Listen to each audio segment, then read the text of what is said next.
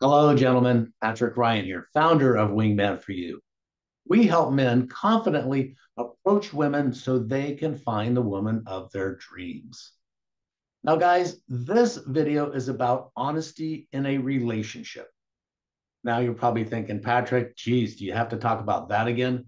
All of us know we have to be honest in our relationships. Here's the challenge, gentlemen, is oftentimes us humans tend to think and think and think, and let's just call it overthink many situations in anticipation of what's going to happen in the future, as opposed to what's going on right now. Now, guys, this is depicted very, very well in season 10, episode 17 of The Big Bang Theory. At this point, Leonard and Penny are married. Leonard has found the woman of his dreams and he's finally married to her. She's stuck with him. Let's just put it that way. Well, Leonard and his buddies are planning a trip to Comic Con.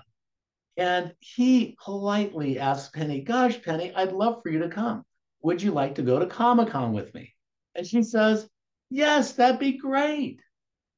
But what she really means is, Leonard, I love you so much. I'd love to learn more about you and understand you better and why you love Comic Con, but I don't think I want to go. Unfortunately, that's not what she said. And when Leonard invited her, oh, honey, I'd love for you to come. Please say no, he's saying in the back. It's a very entertaining episode. Again, season 10, episode 17. It's very entertaining because they eventually find out through their friends, through their mutual friends, that Penny doesn't want to go and that Leonard doesn't want her to go. And my goodness, guys, there could be so much drama saved, so much, what can I say? So much time wasted when we say something or do something just to please our partner. When we find out eventually that your partner wasn't pleased with you doing that anyway guys, there's a lot of entertainment that goes on in Big Bang Theory, and I would suggest and highly suggest that you watch the episodes. Try to watch them from the beginning to the end. It's hysterical. The evolution of the relationships and the evolution of the guys. And Leonard specifically, he evolves where he is so nervous and can't even look Penny in the eye because he's got no confidence.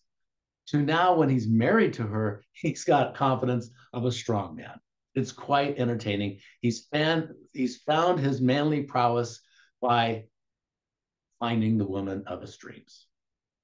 So, guys, again, thanks for tuning in. Don't forget to click that subscribe button. There's some fantastic videos on there that you can watch that will help you get closer to the video, closer to the woman of your dreams. Anyway, guys, thanks again for tuning in. We'll see you in the next video.